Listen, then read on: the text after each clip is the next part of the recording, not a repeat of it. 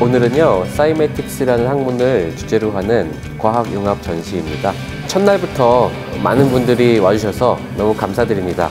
저희가 이후에 또 새로운 전시를 기획 중이니 많은 관심 부탁드리겠습니다.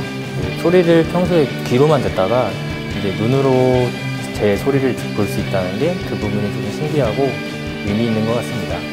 아, 저주파, 고주파에 따라서 파동이 달라지는 게 너무 신기했어요. 사이매틱스라는 다소 생소할 수 있는 주제를 누구나 쉽게 접근할 수 있는 예술 작품으로 승화시켜 우리 학생들뿐만 아니라 지역 주민들에게도 전시의 관람 문화가 활성화되기를 기대해 봅니다.